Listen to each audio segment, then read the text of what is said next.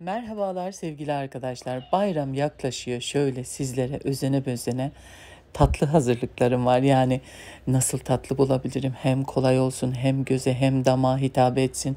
Güzel tatlılar e, hazırlıyorum. Bir tanesi de bu. Hemen yapımına ilk önce bir şerbet hazırlamakla başlayalım. 3 su bardağı toz şeker, 3 su bardağı su, bir parça da limon atacağız. Kaynamaya bırakacağız.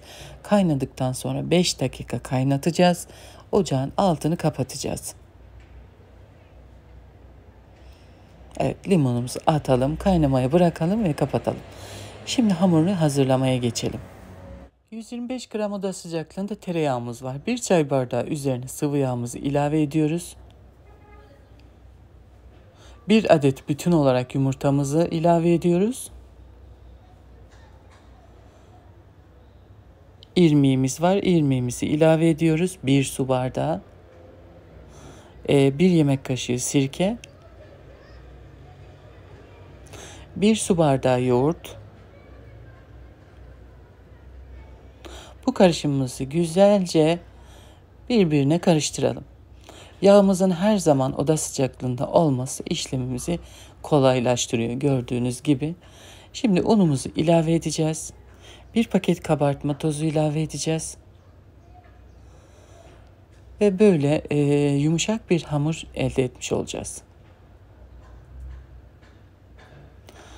Toplamda 3,5 su bardağı kadar un e, kullandım ama un kalitesine göre değişiklik gösterebilir. Şimdi çok fazla e, daha un eklemeyeceğim. Biraz böyle yumuşak oldu. Bir işlem yapacağız şimdi. Hamurumuzu üçe böleceğiz. Üçte iki parçasını bir kenara alacağız. Bir parçasının içerisine böyle ortasını açalım. E, kakao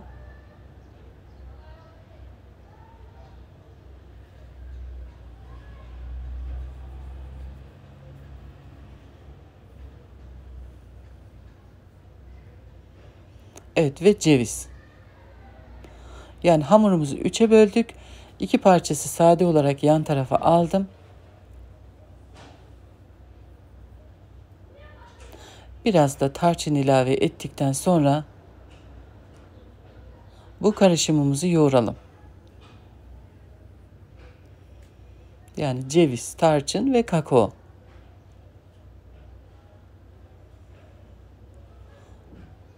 Cevizli, tarçınlı bir kakaolu iç hazırladık. Yani bunu iç malzeme olarak kullanacağız. Ee, çok fazla un koymamıştık ama böyle hani elinize yapışacak derecede olursa o aşamada birazcık hafif unlayabilirsiniz. Ben dikdörtgen bir cam tepsi kullandım. İster iki yağlı kağıt arasında e, tepsi büyüklüğünüze göre açabilirsiniz onu. İsterseniz elinizle açabilirsiniz ama biraz zor oluyor. Hamur dağılan bir hamur çünkü.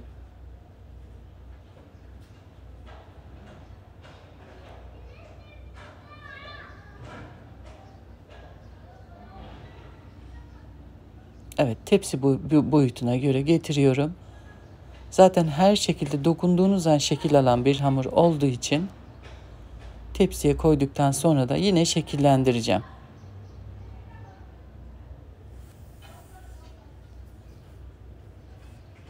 Evet yağlı kağıdı bu şekilde ters çevirerek beyaz hamurumuzu zaten tepsimizin altına tepsimizde yağlıyoruz bu arada. Ee, katı yağla böyle her tarafını yağladım tepsimin.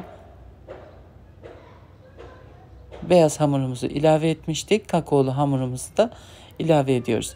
Yani kırılma olabilir, yırtılma olabilir. Zaten sorun değil. Ee, pişer, pişerken bunların hepsi birbirine e, zaten oturacak. Hiç sorun değil. Şimdi beyaz hamurumuzu tekrar aynı şekilde açtıktan sonra üzerine kapatıyorum. Yine aynı şekilde tepsimin şeklini veriyorum.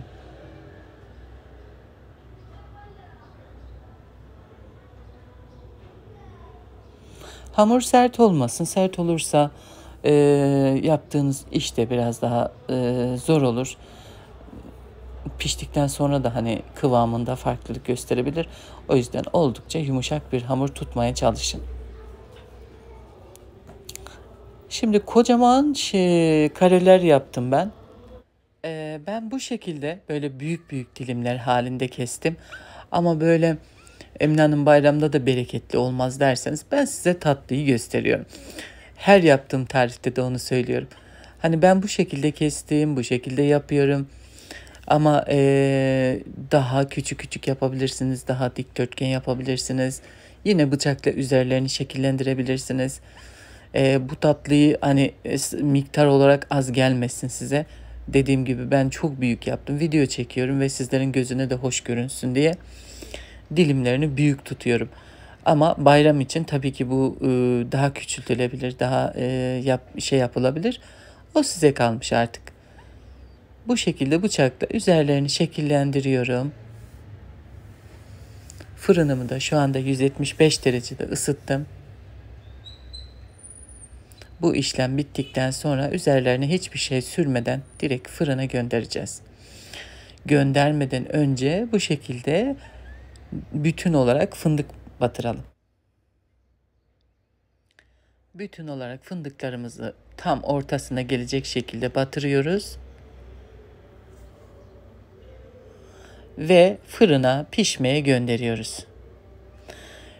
Tatlımız pişti arkadaşlar. Yaklaşık 40 dakika kadar pişirdim. Nar gibi kızardı. Üzerine şerbetini dökelim.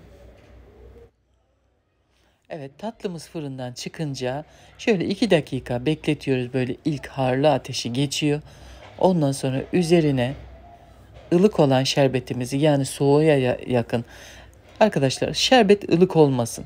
Buz gibi olmasına da gerek yok. Yani hafif oda sıcaklığında da olabilir. Yani ılığın e, altında olsun. O şekilde söyleyeyim sizlere. Tam bir e, yani sıcaklık soğukluk derecesi önemli değil. Ilığın altında olsun yeterlidir. Şerbetimizi üzerine döküyoruz ve dinlenmeye bırakıyoruz. Şerbetimizi çekti. Tatlımızın görüntüsü bu şekilde. İnanılmaz hafif, inanılmaz lezzetli, inanılmaz göze hitap eden, mideye hitap eden bir tatlı oldu. Mutlaka deneyin. Dediğim gibi ben kocaman kocaman dilimler yaptım. Siz dilimleri küçük yapın, şey, çizgileri de farklı yapın. Mutlaka bana da bildirin arkadaşlar.